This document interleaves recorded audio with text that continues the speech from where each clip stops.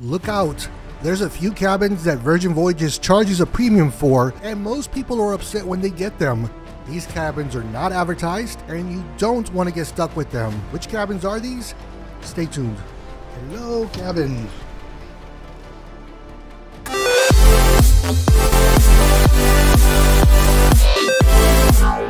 We just got back from a seven day sailing on Virgin Voyages Valiant Lady. The sailing was a private charter, and a lot of the things that you normally see on a Virgin sailing were not there. Pajamas for the PJ party. There was no Scarlet Night with people dressed in red.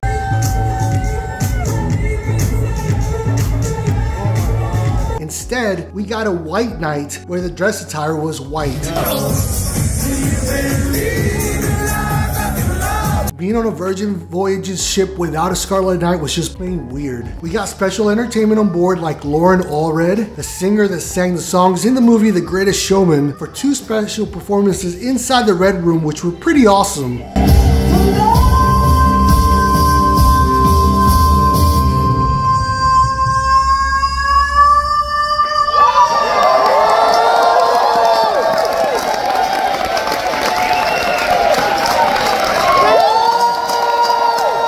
Because the sailing was so unique, it was an opportunity for me to actually relax on a cruise and not worry about filming too much during a trip. This was my sixth sailing on Virgin Voyages in the last two years, and while I've covered most of the things about Virgin on previous videos, this was our first time in an extra large sea terrace, and I wanted to make a very quick video about this terrace and why you need to be careful booking it. Most cabins on Virgin have balconies, though Virgin calls them terraces, and 93% of the staterooms have ocean views. You'll find 46 cabins dedicated for solo travelers on Virgin, mostly inside staterooms, and 10 accessible rooms across multiple categories. When you search for Sea Terrace cabins, you will see multiple choices. Lock-in rate, limited view Sea Terrace is the cheapest cabin with a balcony. You won't get your cabin assigned until close to your sailing date, and there's a good chance you will have a terrace with a partial block view. This is a sacrifice you take for accepting the cheapest option here. The other terrace options are mostly priced based on the location of the ship, with midship being the most desired and costly of the options.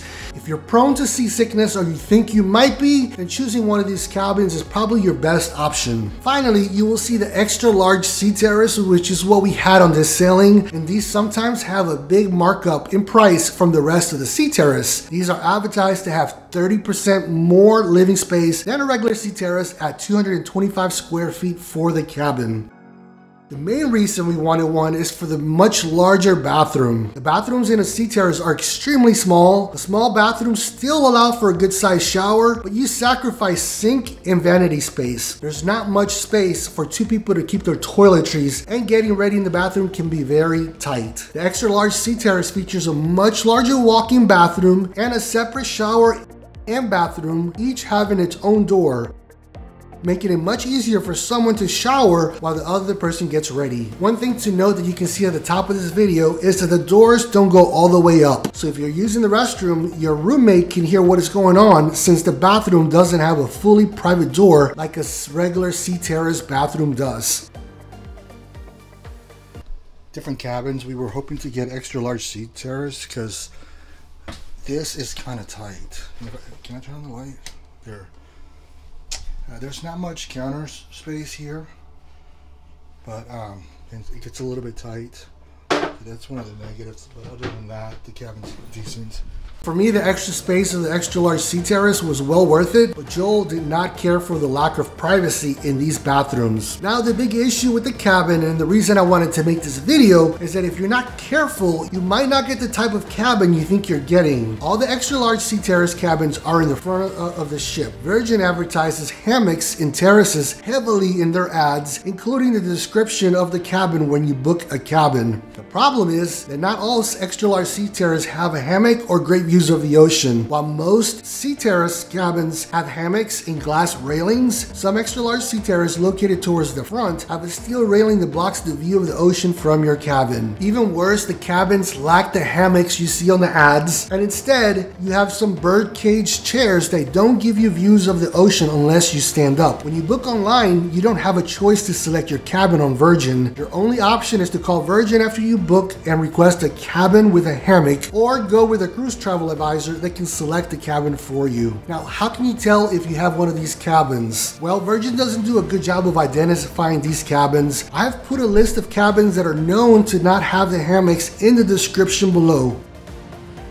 If you're currently booked on Virgin in an extra large sea terrace, make sure you're not in one of these cabins, unless of course you fancy the setup better than the regular cabins. From my experience, most people are extremely disappointed when they get on board and see they were booked in one of these cabins since pictures of them are not provided by Virgin. I've seen reports of people getting $50 on board credit when they complain to Sailor Services. To me, this is one big issue to be aware of, especially since you're paying a premium for these cabins. They're also a long walk from the galley, which was a little bit disappointing for us. One final note on all cabins on Virgin. Most people find the beds to be really hard or firm. You can request your cabin attendant to add some padding to the mattress, which helps helps, but for me, it's still very hard for my liking. On this sailing, I actually bought this memory foam topper on Amazon for just over $20 and brought it with me, and it made a huge difference in my sleep. Afterwards, I just left it for the cabin attendant to use for his personal cabin, which he greatly appreciated. So this is almost a, a must, I think,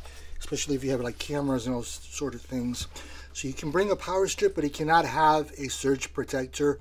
It'll get confiscated, and it's also like a fire risk. So this is found on Amazon for like 10 bucks. Does not have a surge protector and I can connect it here and connect all my devices. This is a must. I also have, these rooms kind of get hot and I like to have a little bit of noise. And this little fan you can get on Amazon also just connects down here. Uh, let's see, connect, connect, connect. And it is actually pretty strong. Let's, where's the button? It's on right now, so it feels really good. I like to keep this right here as I sleep and on throughout the day as it circulates air throughout the cabin. It really makes a big difference. I hope this short video is very helpful for you in making sure you have the perfect cabin selected on Virgin Voyages. If you like content like this, please subscribe to the channel. And as always, thanks for watching.